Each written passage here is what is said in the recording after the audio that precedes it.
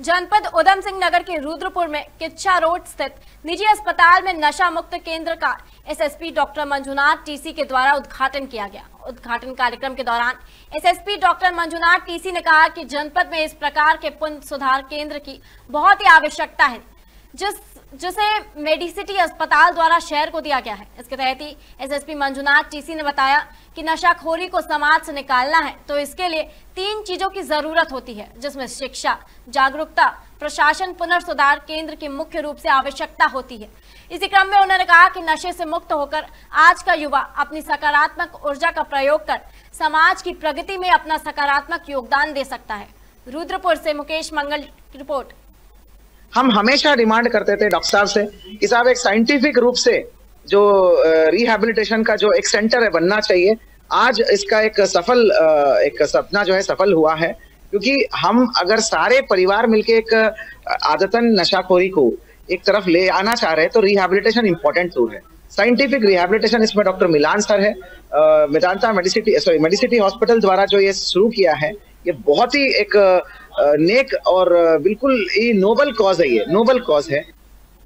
ये खबर उत्तराखंड के डोईवाला से है, जहाँ के सनगांव नाही कला के ग्रामीण वर्षों से सड़क बनाए जाने की मांग कर रहे हैं। ग्रामीणों ने कहा कि यदि सड़क का निर्माण जल्द से जल्द नहीं होता है तो वह चुनाव में वोट नहीं डालेंगे। वहीं ग्रामीणों से बात करने के लिए डोईवाला एसडीएम सनगांव पहुँची, जहाँ उन्होंने ग्रामीणों को मनाने का प्रयास किया, पर इस वार्ता का कोई निष्कर्ष नहीं निकल सका। वहीं इस मामले को लेकर ग्राम प्रधान हेमंती रावत व क्षेत्र पंचायत सदस्य अतुल पुंडीर ने कहा कि सड़क के अभाव में यहाँ के लोगों को भारी परेशानियों का सामना करना पड़ता है। वहीं कांग्रेस जिला अध्यक्ष मोहित उनियाल ने कहा, यहाँ ग्रामीणों को मूलभूत सड़क सुविधा नहीं मिल पा रही है, जिसके लिए उन्हें लगातार संघर्ष करना पड़ रहा है। रोईवाला से जावेद हुसैन की रिपोर्ट। और वार्ता का निराकरण इसलिए नहीं निकल पा रहा है क्योंकि जो जिम्मेदार अधिकारी हैं, उच्च स्तरीय अधिकारी, फॉरेस्ट में पहले उन्हें भी सूचना हुई थी पर लेकिन एस डी मैडम ने सूचना करने के बावजूद भी अभी तक फॉरेस्ट के अधिकारी अभी तक पहुँचे नहीं है। तो अभी वार्ता चल रही है तो देखते हैं क्या हल निकलता है इसका। सड़क सड़क की स्थिति के दे, देखने के लिए ही हम लोगों ने मैडम को यहाँ बुलाया था कि आप भी देखिए भौगोलिक स्थिति क्या है। आज हम लोगों ने एक कम्बाइंड मीटिंग की फॉरेस्ट और पीडब्ल्यूडी के साथ। पूर्व पूर्व में भी इस प्रकार से हम लोगों ने इनसे बात करके इनकी समस्या जानने का ट्राई किया था।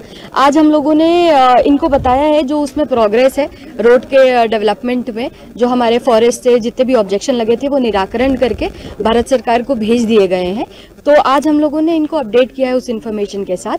इसके साथ साथ इनके साथ बातचीत करते हुए ये भी एक चीज़ सामने आई है कि ये लोग और उच्च अधिकारियों से बात करना चाहते हैं। तो हम आज की जो भी यहाँ पे वार्ता हुई है, उसकी रिपोर्ट अपने उच्च अधिकारियों को करते हुए उनसे एक समय लेके इन लोगों की एक बार मीटिंग ज़िले स्तर पर उच्च अधिकारियों से करवाएँगे। हमारे पर्वतीय क्षेत्र के ग्रामीणों को अपनी सड़क के लिए, मूलभूत सुविधाओं के लिए संघर्ष करना पड़ रहा है। संगांव नाहिकला मोटर मार्ग के लिए कई सालों से इन लोगों की मांग है। सिर्फ़ पाँच किलोमीटर मार्ग बनाया गया था। आज़ादी के बाद से सड़क नहीं बनी है। कई बार हम लोग भी यहाँ पहुँचे हैं, लोगों से मिले हैं, इनकी आवाज़ उठाई। अभी पिछले दो महीने पूर्व ही मैंने मुलाकात करी थी वन मंत्री से आदरणीय सुबोध उनियाल जी से और उनके सामने हमने बात रखी थी संगांव नाही कला इधर लड़वाकोट, हल्द्वाड़ी, जितने सतेली, जितने ये क्षेत्र हैं, यहाँ सब में सड़कें नहीं हैं तो आज भी, आज क्योंकि अब एस डी एम साहब यहाँ पहुँची हैं और सबसे बात करने के लिए कि भाई आप लोग वोट दीजिए, मगर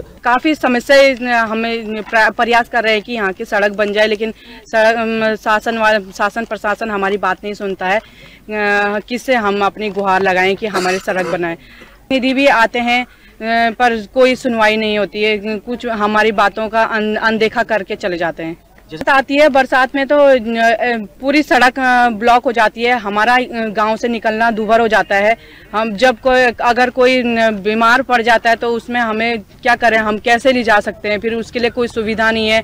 जैसे अब महिला का प्रसव होता है तो उन उनको बहुत परेशानी होती है। रस्ते रस्ते में उनकी डिलीवरी वगैरह प्रसव वगैरह हो जाते हैं।